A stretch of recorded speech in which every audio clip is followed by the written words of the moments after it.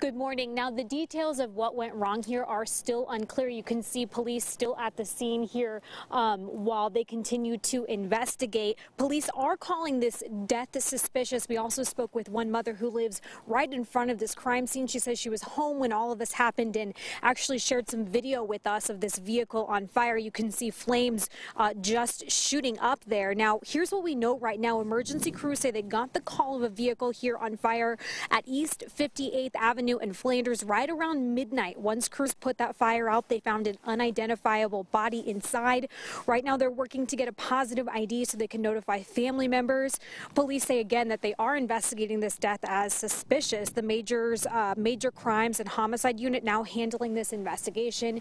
Uh, anybody who knows anything is urged to call police. But you can see here, this is right in a, a, a neighborhood area. We've got a park here just across the street, so a very scary morning for neighbors waking up here this morning. We are live in Aurora.